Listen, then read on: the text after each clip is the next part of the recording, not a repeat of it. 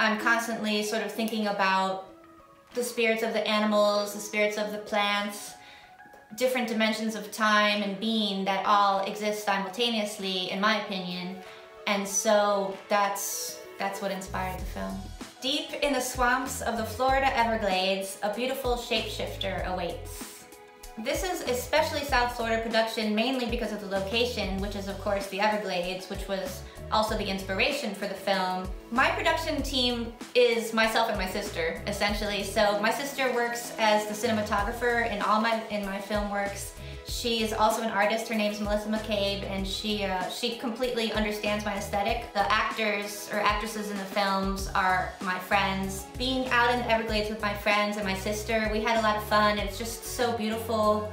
I got into filmmaking in order to try to express my inner vision and, and let other people see it. To be the director, I think, is really fun. It's trying to coax the vision from inside your head or inside the writer's head into reality, I'm kind of already doing it. I would love to make more of these Everglades series video art and um, short films. Well, so many different things. I mean, you could have a great emotional message, you could have just the sheer beauty of the cinematography, you could have something that's fascinating intellectually, and I guess if you had all those in one film, that would make it really great. This program is brought to you in part by Oolite Arts, what Miami is made of, and by Friends of South Florida PBS.